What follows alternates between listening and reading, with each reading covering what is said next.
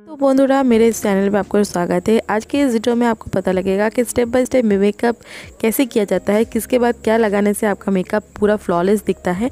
और इसके साथ मैं ये भी दिखाऊँगी कि अगर आप वीडियोस बनाते हैं टिकटॉक पर तो उससे पहले कैसे तैयार हो जाता है। एक सिंपल सा मेकअप रूटीन आपको मैंने यहाँ पर दिखाया है। उस तरह से आप अपने मेकअप रूटीन को आराम से क्रिएट करके वीडियोज़ बना सकते हैं।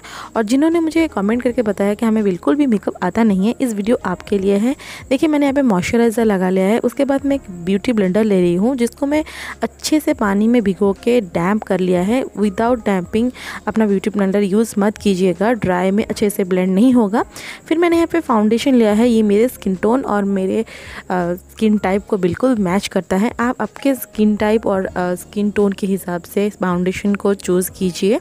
ये मेरी सलाह है। उसके बाद ये फाउंडेशन के बाद मैंने देखिए यहाँ पे पाउडर का इस्तेमाल किया है। फाउंडेशन के बाद ही कॉम्पैक्ट पाउडर का यूज़ किया जाता है, ताकि जो क्रीम प्रोडक्ट होता है, वो बिल्कुल से लॉक हो जाता है, आपका क्रीज नहीं करता है। देखिए, फिर मैंने यहाँ पे एक काउंसिलर का यूज़ किया है येलो टोन काउंसिलर है, क्योंकि मेरा थोड़ा सा डार्क सर्कल है, इसलिए मैंने यहाँ पे काउंसिलर का यूज़ किया है। अगर आपके डार्क सर्कल्स नहीं है तो आप फाउंडेशन को वहाँ पर थोड़ा सा ज़्यादा लगा के ही उसका काम चला सकते हैं। देखिए, मैंने यहाँ पे दिखाया है कि काउंसिलर को कभी भी ऐसे स्टीज करके नहीं लगाना चाहिए डैब डैब करके ही लगाइए, उसको बिल्कुल भी ऐसे रगड़ के अगर लगाएँगे तो वो अपनी जगह से हिल जाएगा और लिका लगाने का कोई मतलब ही नहीं रहेगा।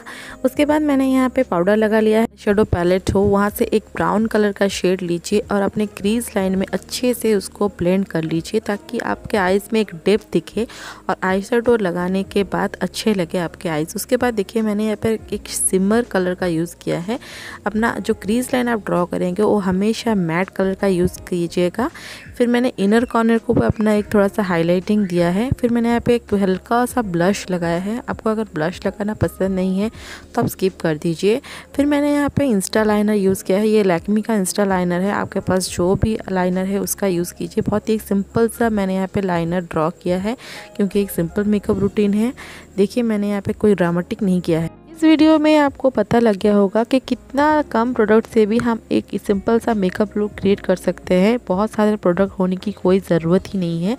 फिर मैंने यहाँ पे दिखाया है कि एक डार्क कलर का मैंने लिपस्टिक लगाया है क्योंकि हमारे फेस में बहुत सारे कलर्स का मैंने यूज़ नहीं किया है। ये ब्राइट कलर का लिपस्टिक क्या करता है? आपके फेस को इंस्टेंट एक ब्राइटनेस दे देता है। फिर उसी कलर से मैंने अपना बिंदी ड्रॉ किया है बिकॉज़ ये समर्स का सीज़न है ताकि मेरा बिंदी स्मर्च ना कर जाए। अगर आपको भी ये टिप अच्छा लग रहा है तो आप भी इसको यूज़ कर सकते हैं। किसी भी कलर का लिपस्टिक अगर अगर आपके पास है तो आप इससे लगा सकते हैं।